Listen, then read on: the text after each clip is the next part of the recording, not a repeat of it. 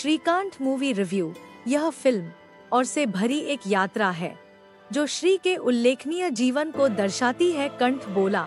निर्देशक तुषार हीरानंदानी ने सस्ते भावनात्मक हथकंडों का सहारा लिए बिना, अंधेपन के कारण श्रीकांत के सामने आने वाली चुनौतियों और संघर्षों को खूबसूरती से चित्रित किया है। हीरानंदानी की कहानी कहने का ढंग सशक्त है। जो दर्शकों को सहानुभूति की भीख मांगे बिना श्रीकांत की दुनिया में खींच लाती है। पूरी पटकथा में विशेष रूप से पहले भाग में ऐसे कई क्षण हैं जो दिल को छू जाते हैं, जिससे दर्शक गहराई से द्रवित हो जाते हैं और उनकी आँखों में आँसू आ जाते हैं। राजकुमार राव ने श्रीकांत के रूप में एक असाधारण प्रदर्शन किया है। जिसमें एक अंधे व्यक्ति को अद्वितीय प्रामाणिकता के साथ चित्रित किया गया है।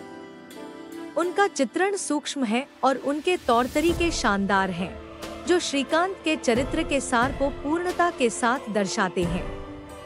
राव के प्रदर्शन को उसकी उत्कृष्ट प्रतिभा के लिए व्यापक आलोचनात्मक प्रशंसा मिलना तय है। वह अपने बेहतरीन अभिनय के दम पर पूरी फ़िल्म को आगे बढ़ाते हैं। ज्योतिका और शरद केलकर ने अपने बेहतरीन प्रदर्शन से बहुत अच्छा समर्थन दिया।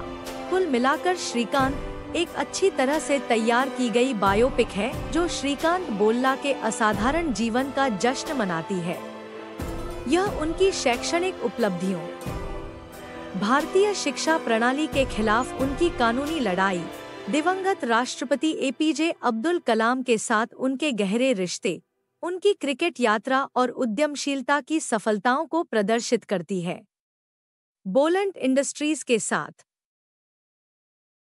बॉलीवुड फ़िल्मों से संबंधित अधिक नवीनतम अपडेट के लिए बतीजा मूवी चैनल को सब्सक्राइब ज़रूर करें। Thank you.